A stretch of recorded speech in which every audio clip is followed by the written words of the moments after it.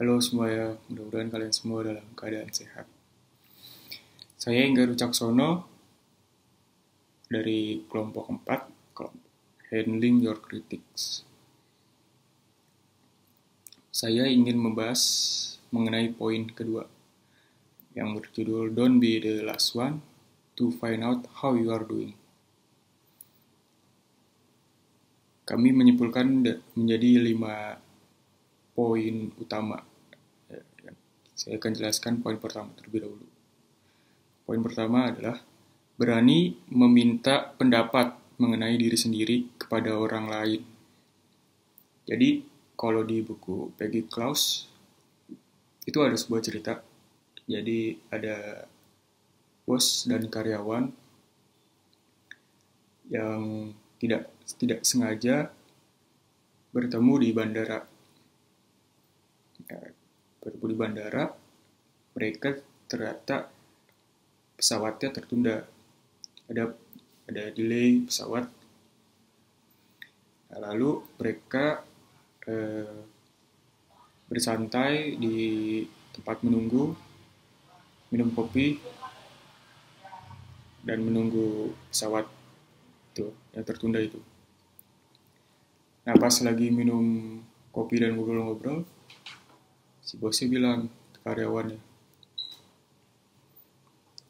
dibilang kamu adalah salah satu karyawan muda terbaik yang saya awasi. Lalu si karyawan itu kaget. Kaget kayak. Dia bilang, kenapa kamu baru mengatakan ini sekarang gitu kayak dalam hatinya kayak selama tiga tahun dia bekerja dia gak pernah dapat eh, komentar positif dari bosnya lalu si bosnya menjawab apakah saya harus melakukan itu? Nah jadi si karyawan itu tersadar. Ternyata ya nggak ya dia mau ngomong itu atau nggak ngomong itu terserah dia. Kira dia bilang ke bosnya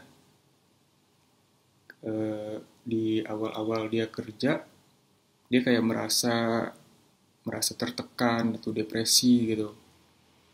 Ternyata bosnya itu mengawasi dia gitu, berpendapat baik terhadap dirinya.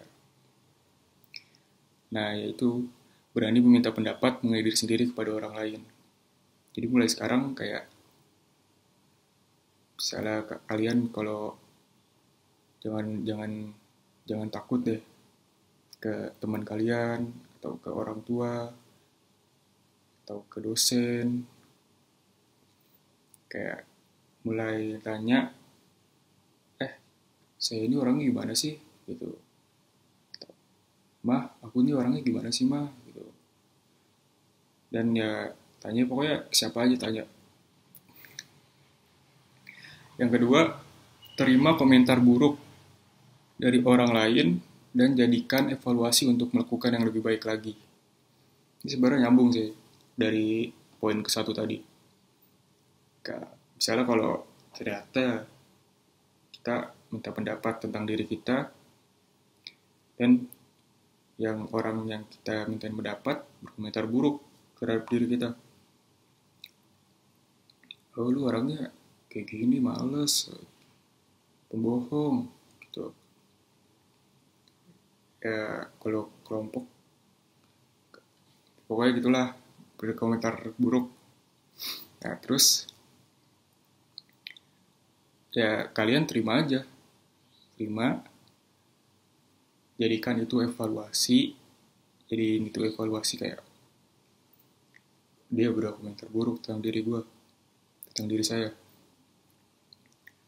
Lalu kalian ada dorongan kayak, saya harus melakukan yang lebih baik lagi. Jangan sampai orang berkomentar seperti itu lagi terhadap saya, atau orang lain ikut-ikut berkomentar buruk terhadap saya. Yang ketiga, berani mengakui kesalahan. Hmm. Jadi misalnya di sebuah kelompok gitu kayak caranya dia gitu udah tanggung jawabnya dia tapi dia nggak bertanggung jawab gitu. Nah, jadi jangan jangan takut untuk untuk mengakui kesalahan gitu. Bilang aja kayak oh ini emang salah saya maaf ya. Tadi saya gini gini gini gini gini gini gini tuh terus uh, otomatis ya yang yang mendengarnya kan ikut ter mengerti lah bisa mengerti lah ada juga di buku Petty Klaus itu dia eh, tentang di berani mengakui kesalahan. Jadi dia kayak jadi lagi ngantri gitu kan terus ada masalah gitu. Lalu si yang buat masalah itu dia bikin bilang kayak gitu bilang minta maaf yang tulus-tulusnya. Lalu sama pengawasnya di maafin karena permintaan maaf yang begitu serius gitu. Yang keempat, jangan mudah merasa puas dengan apa yang telah kita capai karena belum tentu hal tersebut seperti apa yang orang inginkan. Hmm. Jadi jangan pernah merasa puas sama apa yang kita capai. Itu misalkan kita udah kayak misalnya kita dapat nilai 9 gitu. Nilai 9 Nah ternyata ya kita udah puas sama nilai kita itu.